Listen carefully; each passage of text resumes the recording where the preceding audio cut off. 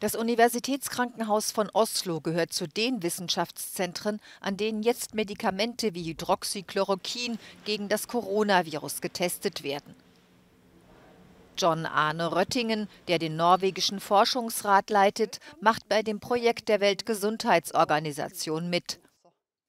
Wir testen das Malaria-Medikament, das die Infektionen reduziert und gegen Parasiten wirkt. Auch Ebola-Medikamente wurden entwickelt, um gegen das Virus und andere Viren eingesetzt zu werden. Ob es gegen das Coronavirus funktioniert, das wissen wir noch nicht.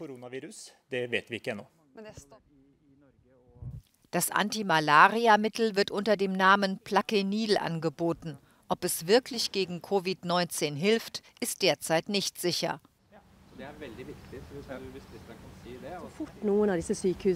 Sobald eines der an der Studie teilnehmenden Krankenhäuser herausfindet, dass eines der Medikamente Wirkung zeigt, stellen wir die Studie allen zur Verfügung.